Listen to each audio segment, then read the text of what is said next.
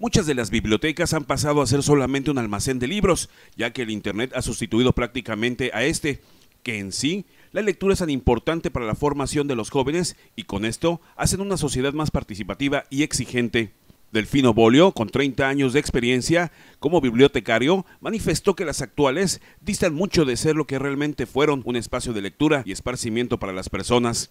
Yo creo que lo importante es que en Cancún se ha visto más bien, a veces un tanto lo, bueno, lo prioritario en relación a que el gobierno tenga la, digamos, el apoyo a las bibliotecas, pero considero, ¿no? desde hace algún tiempo que estoy aquí en Cancún, que esas bibliotecas no funcionan por lo mismo que son ahora mucho más, porque son prácticamente la mitad ciber, la mitad biblioteca. Los niños no son atraídos por los libros y las personas que están ahí, probablemente la mayoría, tal vez con alrededor de 10 años o menos de experiencia, solamente se sitúan como empleados, pero no tienen, creo yo, ese espíritu de bibliotecario.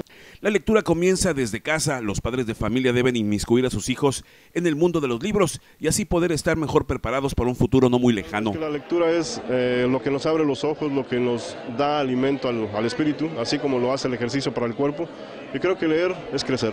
Ese es el lema de nuestro programa. Además de que los libros aportan cultura y conocimiento, hacen personas más participativas y por consiguiente mejores ciudadanos. Con imágenes de Miguel Bolio, Juan Carlos Mendoza, Notivisión.